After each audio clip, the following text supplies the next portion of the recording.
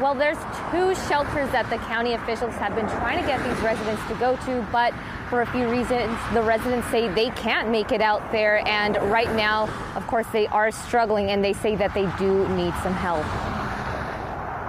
It's been several days since floodwaters of the San Joaquin River forced multiple residents out of Catfish RV Park in Crows Landing. There's a few people in there that are disabled that don't even have power or heat.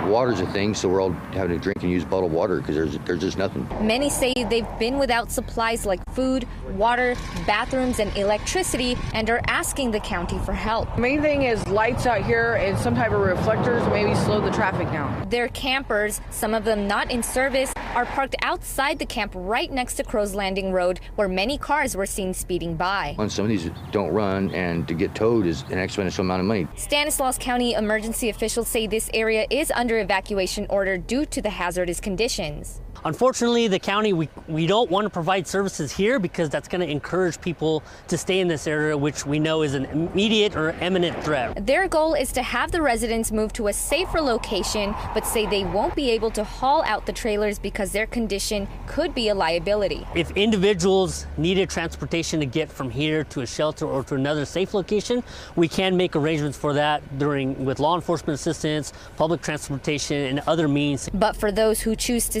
we still remind the deputies to tell the residents that have stayed that, hey, monitor the river levels. It can go up at a moment's notice and have a plan to leave at that moment's notice when something happens.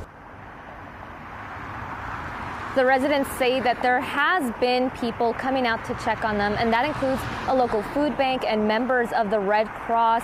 But of course, the county officials say that they prefer these residents move to those shelter locations where their needs can be better assisted. Reporting live in Crows Landing, Josie Hart, KCRA 3 News. Josie, thank you. And two evacuation shelters are located at the Salvation Army Red Shield in Modesto and the Stanislaus County Fairgrounds in Turlock, where there is space for trailers and RVs.